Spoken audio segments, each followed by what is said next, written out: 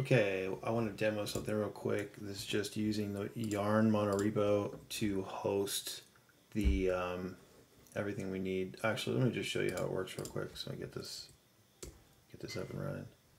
Okay, so basically, here's our little site here. What we have is an nav bar with three different pages, React Router.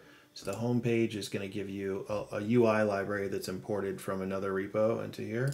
So we just count and uh, this is just a React. It's a React like repo from a different repo, a, UI library repo, and then this one is going to use um, a some observables. This is a, a child, a parent, and a grandparent observable. So if I say like uh, if I say like um, child auth uh, title and like child author, then it'll it'll react and it'll add these. But if I were to say something like um, parent title, parent author,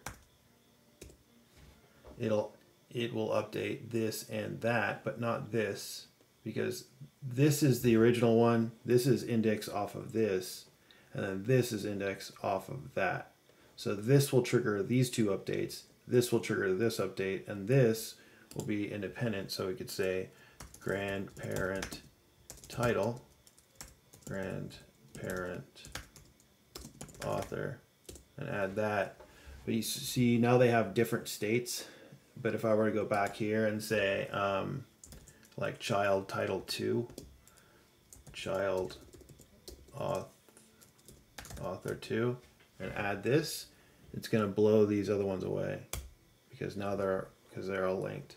So that's the books. This is um, this is another the exact same idea, except these are just incrementing here. Go like this, like that. You see it goes independently, but if I go like this to 12, this will be then 13, 14. All right. So yeah, so that's export. That's uh, monorepo and observables. The way that um, this works is uh, we could say uh, let's go to the actual uh, the root here. So this is the monorepo. Um, this is for something else, but anyway, if we just run yarn clean, it will clean up everything. So all the node modules will clean all out. And if I say yarn and yarn dev, let me just show you this is not working. Okay, yarn and yarn dev. It will run concurrently. It'll run all of the it'll run all of the um, dev scripts concurrently.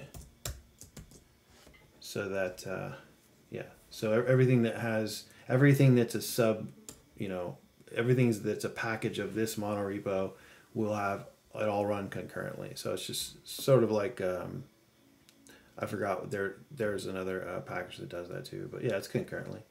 Anyway so um, the UI package is uh, imported from here. We're exporting all this, so this counter button and this header, just, okay, this is just a UI, this is just a UI, this is a Vite, they're all Vite projects. This is a UI library. This is Marc's observable. And I put everything in Vite just because it'll, it'll, I can just let it take care of um, compiling everything if we want to export. If we like to put it in NPM package or whatever, um, Vite, I'll let Vite handle all that. I don't want to mess with it and then this is the actual consuming uh, li uh, library we're calling, calling it this. So a bunch of different components are using, um, you know, using stuff out of a out of this uh, observable, but it's not this observable it's using. Actually, let me show you the store. So the store imports Marc's observable, okay, and then uses uh, the observable and observable factory and creates these objects and does this. So um, the Marc's observable package imports from here. Okay, so that's pretty much how everything works.